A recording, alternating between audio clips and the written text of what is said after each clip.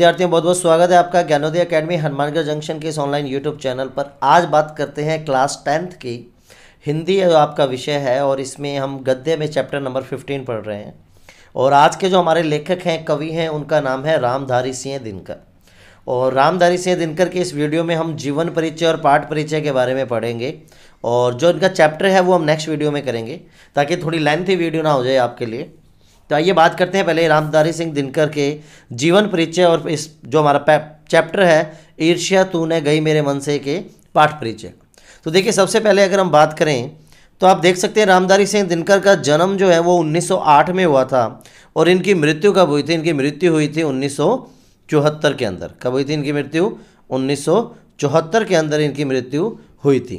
तो देखिए रामधारी सिंह दिनकर का जन्म 1908 में और मृत्यु उन्नीस सौ चौहत्तर में हुई थी। आइए बात करते हैं इनके जीवन परिचय के बारे में। जीवन परिचय। राष्ट्रीय सांस्कृतिक काव्य धारा के प्रमुख कवियों में दिनकर जी का नाम जो है वो अग्रणीय है। मैथिली शरण गुप्त के बाद, जी हाँ किसके बाद?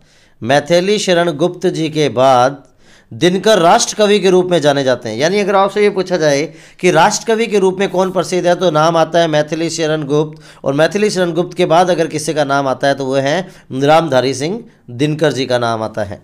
रामधारी सिंह दिनकर का जन्म कहाँ हुआ था? तो देखिए, इनकी बात अगर करें तो इनका जन्म बिहार के मुंगेर ज़िले में हुआ था ये इंपॉर्टेंट प्रश्न बनता है आपका कि रामधारी सिंह दिनकर जी का जन्म कहाँ हुआ था? बिहार के मुंगेर ज़िले के अंदर इनका जन्म हुआ था।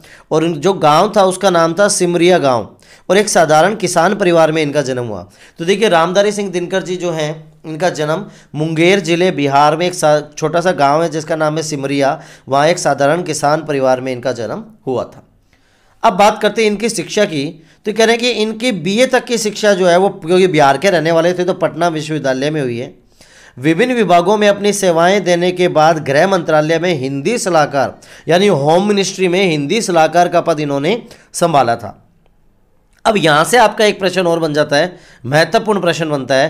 हमारा जो महत्वपूर्ण प्रश्न बनता है, वो देखिए गया कि इनकी प्रमुख कृतियों में उर्वशी को भारतीय ज्ञानपीठ पुरस्कार मिला।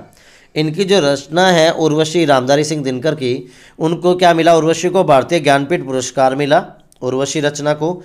और संस्कृति के चार अध्याय, जो रचना है, उसे क्या मिला है? साहित्य अकादमी पुरस्कार मिला है। क्या मिला उसे? साहित्य अकादमी पुरस्कार मिला है। कुरुक्षेत्र को विश्व के सौ सर्वश्रेष्ठ काव्य है। इनके द्वारा लिखा गया एक काव्य है, जिसका नाम है कुरुक्षेत्र। उसे विश्व के सौ सर्वश्रेष्ठ काव्यों में चौहत्तरवां स्थान दिया गया है, जो इनके लिए बहुत ही एक सम्मानजनक बात है। देखिए क्या है? भारतीय ज्ञानपीठ पुरस्कार मिला इनकी कृति उर्वशी को। साहित्य अकादमी पुरस्कार मिला इनकी कृति संस्कृति के चार अध्याय को और इन्होंने काव्य लिखा था, जिसका नाम है कुरुक्षेत्र। कुरुक्षेत्र को विश्व के जो सौ सर्वश्रेष्ठ काव्य हैं, उसमें कौन सा मिला है?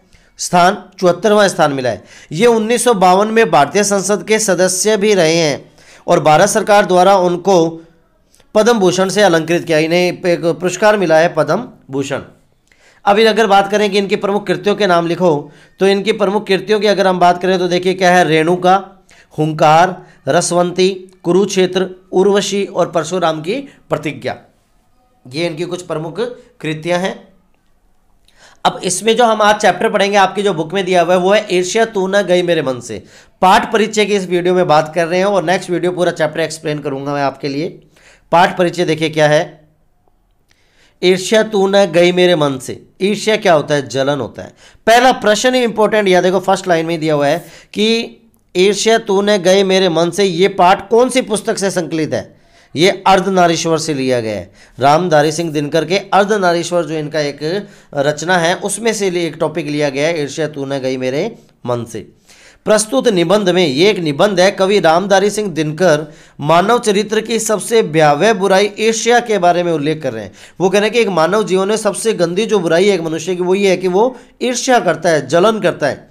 कवि ने ईर्ष्यालु मनुष्य के चरित्र की कमजोरियों को उदाहरण में बखूबी स्पष्ट किया है। देखिए, कवि ने क्या स्पष्ट किया है? ये कह रहा है कि कवि ने स्पष्ट किया है कि जो ईर्ष्यालु व्यक्ति होता है, वो किस प्रकार उसकी जो कमजोरियाँ क्या क्या हैं, उनके बारे में बताया गया है। कि किस प्रकार ईर्ष्यालु व्यक्ति अपने पास उपलब्ध साधनों से आनंद न उठाकर दूसरों के पास उपलब्ध साधनों से कुटकर अपने जीवन मूल्यों का हास करता है, कि एक व्यक्ति अपने साधनों का आनंद नहीं लेता, लेकिन सामने वाले के पास क्या साधन, क्या फैसिलिटीज़ है, उनको देखकर वो जलता रहता है। कवि रामधारी सिंह दिनकर ने एक तरफ़ ईर्ष्यालु लोगों से बचने का उपाय बताया है, इसमें बताया कि किस प्रकार आप ईर्ष्यालु लोगों से बच सकते हो तो दूसरी तरफ़ जो लोग ईर्ष्यालु स्वभाव के हैं, वो किस प्रकार ईर्ष्या की लत से बच सकते हैं। इनके लिए भी रास्ता किन्होंने बताया, रामधारी सिंह दिनकर ने बताया। देखिए, क्या बताया गया है? कि आप ईर्षालु लोगों से कैसे बच सकते हैं? और वो लोग जिनको जलन होती है दूसरों को देख के, वो अपनी इस बुरी लत से कैसे बच सकते हैं? वही इस चैप्टर में बताया गया और निश्चय ही यह जो निबंध है, स्वाभाविक मानव कमजोरियों, मानवीय कमजोरियों को दृष्टिपात कराने में, भाव और भाषा की दृष्टि में भी क्या ये समर्थ है? तो नेक्स्ट वीडियो में पूरे चैप्टर को हम समझेंगे। ये था रामदारी सिंह दिनकर जी का जीवन परिचय और उनका पाठ, ईर्ष्या तू ने गई मेरे मन से का पाठ परिचय। एक बार फिर से मैं इंपॉर्टेंट क्वेश्चन बता देता हूँ, आपको जो बनते हैं। देखिए रामधारी सिंह दिनकर में इस चैप्टर में जो इंपॉर्टेंट क्वेश्चन बनता है, वो ये बनता है कि रामधारी सिंह दिनकर जी का जन्म कहाँ हुआ? बिहार में हुआ, बिहार के मुंगेर ज़िले में हुआ और सिमरिया गाँव में हुआ। उसके बाद इनका आता है कि इनको क्या मिला? देखिए, उर्वशी इनकी जो कृति थी, उसे भारतीय ज्ञानपीठ पुरस्कार मिला और संस्कृत के चार अध्याय को साहित्य अकादमी पुरस्कार मिला। इनका एक और ग्रंथ है, जिसका नाम है कुरुक्षेत्र, जो विश्व के सौ सर्वश्रेष्ठ काव्य ग्रंथों में चौहत्तरवां स्थान उसे दिया गया। रामधारी सिंह दिनकर जी उन्नीस सौ बावन में भारतीय संसद के सदस्य भी रहे हैं। और भारत सरकार से इनको कौन सा पुरस्कार मिला है? पद्म भूषण मिला है। इनकी कृतियों की बात करें तो रेणुका, हुंकार, रसवंती, कुरुक्षेत्र, उर्वशी और परशुराम की प्रतिज्ञा, इनकी कुछ कृतियाँ भी है।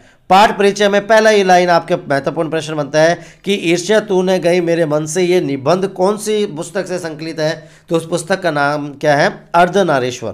क्या नाम है? अर्धनारेश्वर। मिलते हैं नेक्स्ट वीडियो के साथ। Thank you